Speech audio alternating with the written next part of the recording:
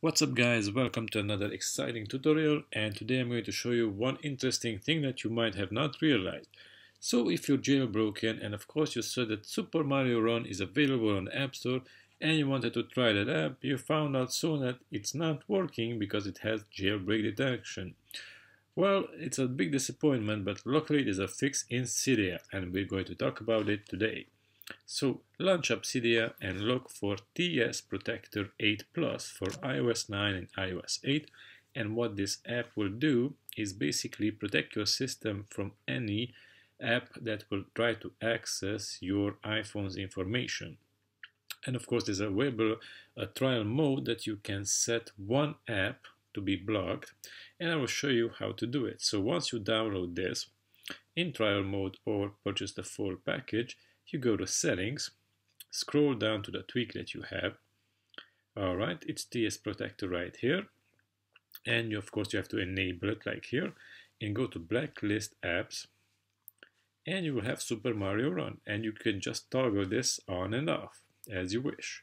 So uh, filtering mode is blacklist. I blacklisted um, Super Mario Run and that was my basic selection so you can reset it of course and uh, do whatever.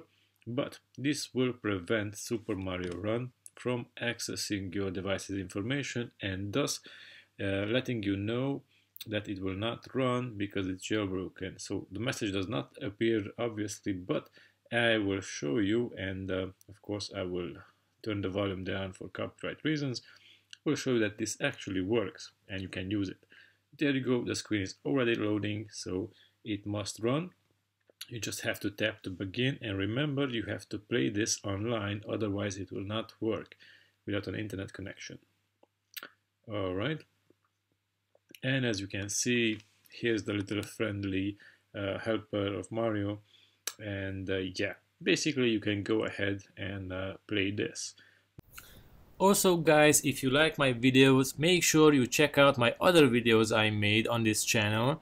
And if you really like what I'm doing and you want to stay up to date with everything I do, just hit the subscribe button and you will get notified of the latest updates.